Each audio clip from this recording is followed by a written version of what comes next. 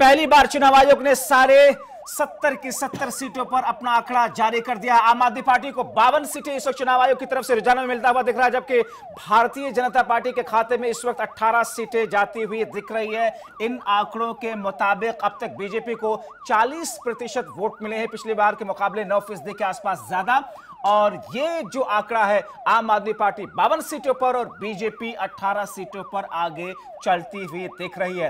यानी कि पहली बार चुनाव आयोग की तरफ़ से 70 के 70 सभी सीटों पर आंकड़ा जारी कर दिया गया। हालाँकि एक बार मैं फिर से अपने दर्शकों से कहूँगा कि आंकड़ा महज रुझान है, ये नतीजे नहीं है, मगर अमूमन ये देखा जाता रहा है कि शुरुआत में जो आंकड़े रुझानों की शक्ल में सामने आते हैं, ये 99 फ़ीसदी अक्सर ऐसा होता है कि वही आंकड़े नतीजों की शक्ल में बदल जाते हैं। मगर हमारे सामने बहुत सारे राज्यों की ऐसी तस्वीरें हैं जहाँ पर नतीजे बिल्कुल ही पलट जाते हुए देखे गए हैं।